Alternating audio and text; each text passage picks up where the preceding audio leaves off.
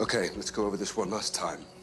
Before you board the Grayson yacht, I'm going to sneak on side and preset the gun we bought in Victoria's name. Then I will hide out and wait until exactly 10 past 9 when you should be approaching the buoy. At which point you will premiere the Grayson family slideshow, which I nauseatingly prepared. When everyone's watching, I'll make sure Victoria leaves.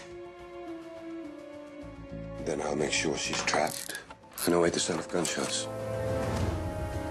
And I'll only fire once I've poured my blood on deck as evidence that she shot me.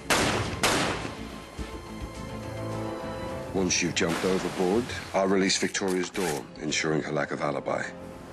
Now you have exactly 20 minutes until the Coast Guard starts the search. Retrieve the case from the buoy, use the mini scuba tank to get beneath the surface, catch the current, and meet me at the beach.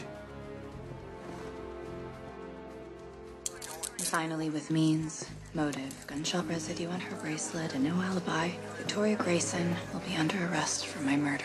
And under questioning, I guarantee that she'll roll on Conrad in an attempt to save herself. Let's take down the Graysons once and for all.